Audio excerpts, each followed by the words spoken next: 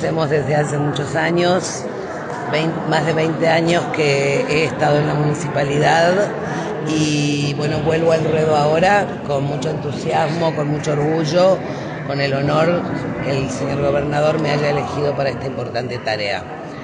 Eh, quiero decirles que el camino que se ha trazado es un camino que se va a continuar. Yo no vengo a reemplazar a nadie, soy sucesor en una gestión que el arquitecto Gabriel Romero tiene el honor de ser hoy el decano de la Facultad de Ciencia y Artes de la Universidad Nacional del Nordeste.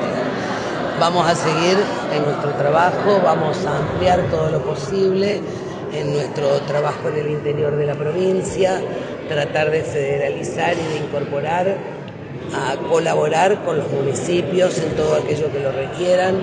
La virtualidad, la pandemia nos trajo una nueva opción de trabajar, por lo tanto hoy las distancias se han acortado. Vamos a, ya hicimos un proyecto de trabajo que en uno o dos días se los vamos a entregar en la oficina del Instituto de Cultura para que ustedes lo tengan a mano de cuál es el plan federal que tenemos desde el Más allá de la impronta que le pueda llegar a poner al cargo, ¿qué le pidió el gobernador? El gobernador me dio eh, la libertad de hacer lo que yo considere. Ustedes saben que yo vengo desde la, de la gestión privada y que por ahí hay otra mirada, una mirada de afuera. Eh, por supuesto, yo soy el brazo ejecutor, creo que tenemos un año larguito por delante para hacer todavía mucho, mucho de lo que se puede desarrollar, que basándonos en sus palabras, que son es la misma idea que yo tengo, somos un pueblo muy rico, una provincia con mucha capacidad de salir adelante, tenemos algunas cosas en contra, estamos lejos de otros centros, eh, las localidades son muchas, más de 70 municipios que tenemos en la provincia pero estamos dispuestos a transitar el camino y hacer que cada correntino pueda vivir mejor. ¿El equipo de trabajo va a continuar con el mismo? Sí, por supuesto, hay un organigrama que viene desde hace muchos años.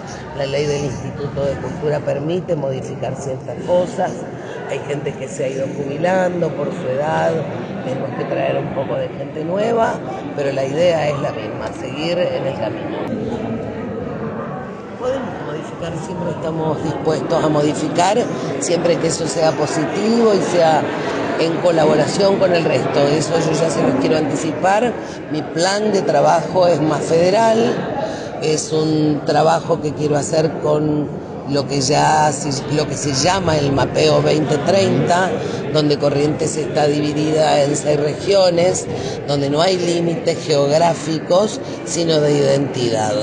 Quiero que saquemos la provincia fuera de la provincia, la capital fuera de la capital, el interior fuera del interior y que podamos también exportarnos de alguna manera. Nosotros tenemos, como dijo el señor gobernador, una identidad casi única dentro del país. Tenemos nuestra propia música, nuestra propia comida, nuestro propio idioma, o sea, hay mucho, mucho por hacer y tenemos que seguir apoyando a los emprendedores, a los desarrolladores, ampliar la tarea de los gestores culturales, de los escritores, el arte, que es una cosa que en los últimos años se ha incluido dentro de la gestión cultural.